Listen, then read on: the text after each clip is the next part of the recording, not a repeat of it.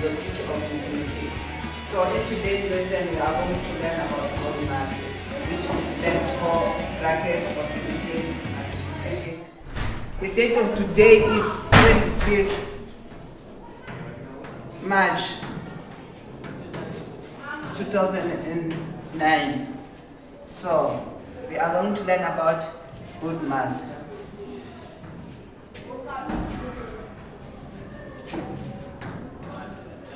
Which means bracket, bracket, B stands for bracket.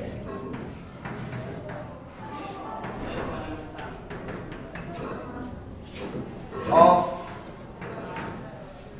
division, multiplication.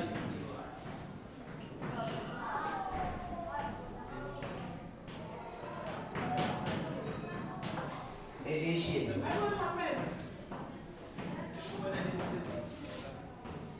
And subtraction.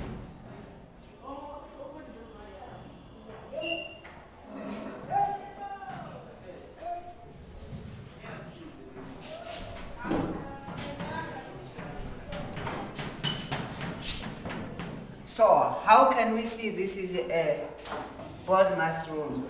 What? This is an example.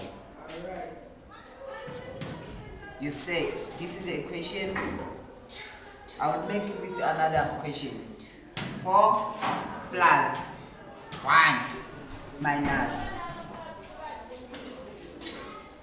3 divide by 1 plus so times 2 you see first you must keep what is on the brackets that that's a rule of mass so then you will say equals to 4 plus 1 minus what is in a bracket? 3 3 divided by 1 okay minus 3 times 2 then what follows after? It follows division. Division we already have done. So it follows multiplication. So it equals to 4 plus 1 minus 3 3 times 2 equals to equals to minus 6 so what is addition. So we are going to solve addition. Equal it will be 5 minus 6 which means equals to 1 minus 1 that's it.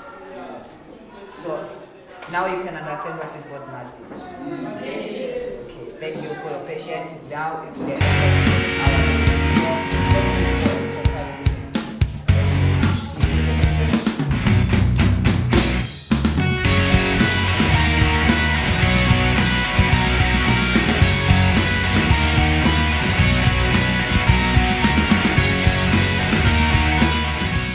My name is Promise Dube as a student.